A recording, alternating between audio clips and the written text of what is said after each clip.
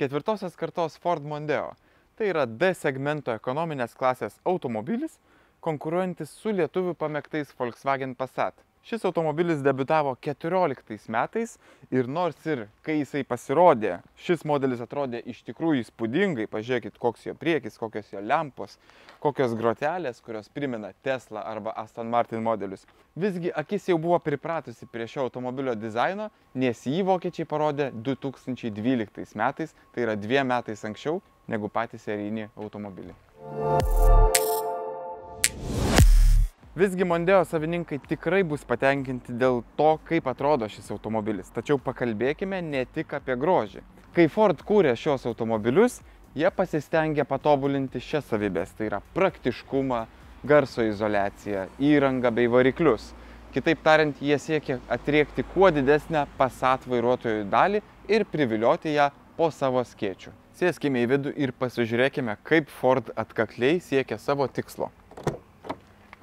Atsisėsti prie ketvirtos kartos Ford Mondeo vairo yra patogu, paprasta, galima greitai susirasti savo patogią sėdėjimo poziciją, galima greitai nusilenkti, greitai atkelti atlašą.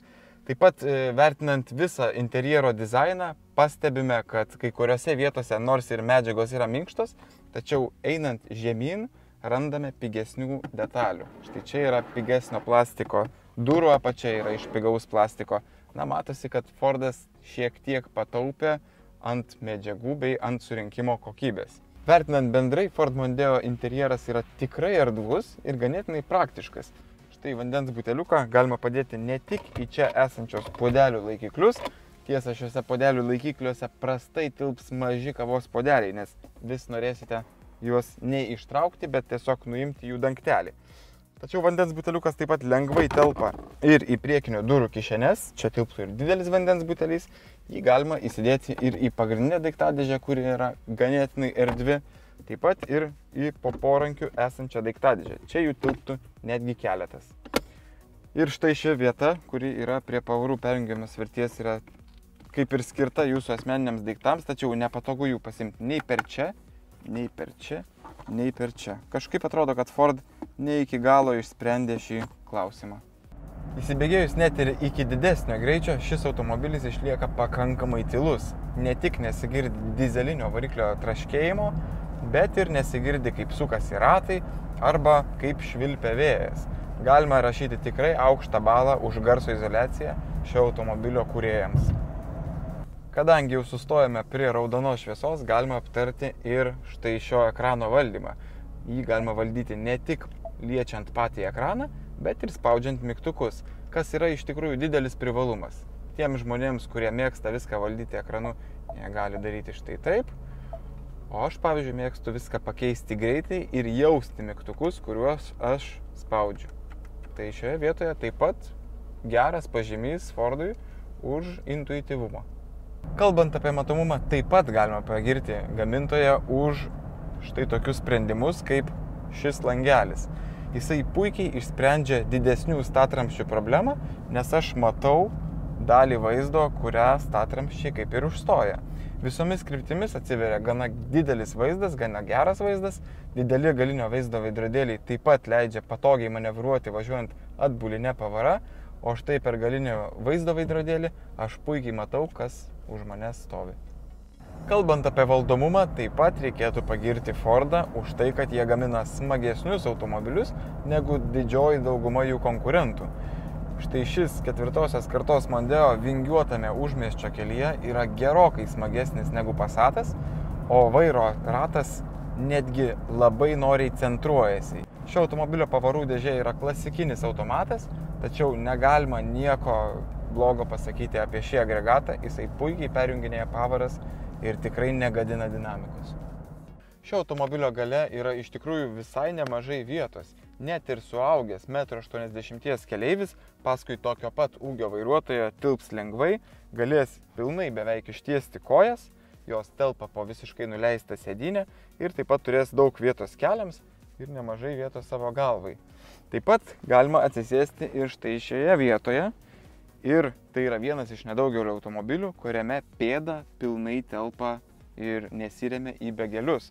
Tad nesiskūs nei čia, nei čia sėdintis keleiviai, kad mes atimame iš, jo, iš jų per daug vietos. Šis modelis taip pat ir turi štai tokį porankį, kur galite pasidėti kelis kavos podelius bei tokias durelės, per kurias galima iš bagažinės pasimti kažkokių daiktų, net neišlipus iš automobilio. Šis automobilis taip pat patiks ir čia sėdintiems vaikams, nes jie galės pilnai atsidaryti langą ir ne tik pasižiūrėti, bet ir iškišti ranką, pamojuoti savo draugams. Kaip matėme, šio automobilio salonas yra iš tikrųjų praktiškas, pažiūrėkime, kokie yra bagažinė. Bagažinės dangtis didelis, atsidaro pakankamai aukštai, galima ir pasislėpti nuo lietaus. Taip pat lengvai susilanksto bagažinės uždangalas ir jį galima paslėpti iš tai čia esančią vietą. Nereikės palikti jo namuose, norint pervežti kažkokį didesnį krovinį. Tačiau yra viena problema. Pati bagažinės talpa nors ir yra padori, tik truputį mažesnė negu pasato, tačiau bagažinė nėra išmani. Štai nors ir yra štai tokia įbrėžimams atspari detalė, tačiau išiminėdami savo krovinius galite užkliudyti galinį bumperį, o jį dažyti bus gerokai brangiau negu rūpintis dėl kažkokio įbrėžimo ant kažkokios nereikšmingos detalės. Taip pat čia nėra jokių bėgių. Turime štai tokias kilputes, prie kurių galėsite gumomis pritvirtinti savo krovinius, arba juos galėsite pritvirtinti arba įdėti į štai šias vietas. Galinės sėdynės sulankstomos tik iš vidaus, tad norint sulankstyti sėdynės, reikia pereiti, atsidaryti duris ir patraukus rankenėlę sulankstyti sėdynės gaunamos visiškai lygios grindys ir solidi erdvė, tinkanti galbūt net dviejų žmonių nakviniai. Nuo 2014 metų gaminamas ketvirtosios kartos Ford Mondeo yra išsigelbėjimas tiems vairuotojams, kurie ieško į Passat panašaus, tačiau smagiau vairuojamo automobilio. Taip pat reikia nepamiršti fakto, kad Mondeo yra pigesnis negu jo pagrindinis konkurentas.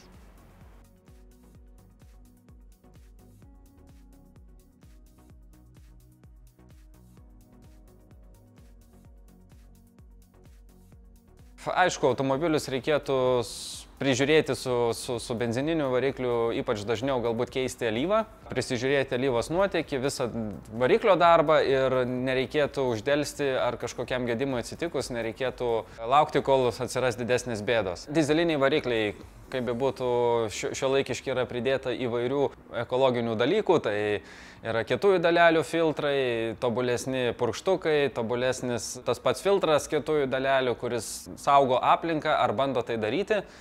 Ir jisai reikalauja didesnės priežiūros ir jo remontas kuo toliau, tuo yra brangesnis. Kol automatinės greičių dėžės važiuoja taip, kaip reikia, kol jos neskleidžia pašalinių garsų ar važiuoja ar ir bėgis jungia tinkamai, Tai viskas yra tvarkoj, tačiau remontas šitų dėžių yra pakankamai brangus. Kol kas didelių gedimų nėra išlindę ir kažko kalbėti būtų sunku. Reikėtų atkreipti dėmesį į bendrą važiavimą. Tai pabandyti eksploatuoti automobilių įvairiomis sąlygomis, tiek miesto, tiek užmiešio režimu. Pabandyti agresyviau pavažinėti ir pa pastebėti, kaip jungiasi pavaros. Na ir žinoma, nusipirkus eksploatacijos laikotarpiu keisti greičių dėžėje lyvą ir tikėtis, kad automobilis tarnaus ilgai. Važiuoklė gal nėra labai atspari korozijai Tai pasitaiko tokių dalykų, kad koroduoja važiuoklės elementai truputį stipriau negu kitų automobilių. Na, vėlgi priklauso nuo eksploatacijos vietos, kur buvo automobilis važinėtas, ar vien tik tai mūsų klimatu, kuris nėra labai geras metalo atžvilgiu, koroduoja dažniau negu, negu kitose šiltuose kraštuose. Pasitaiko parkavimo daviklių, laidynas, sakykime, būna su koroduoja arba kažkur laidas būna nutrūkęs. Na, tokių smulkmenų, tačiau, tačiau atsitinka.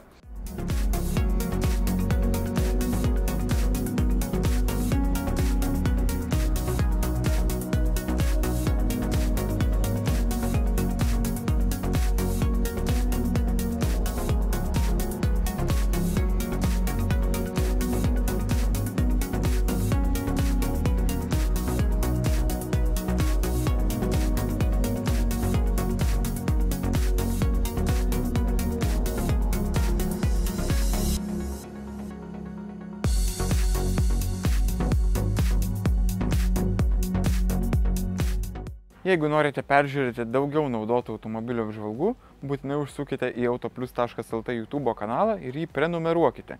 Taip pat sekite mus ir Instagrame.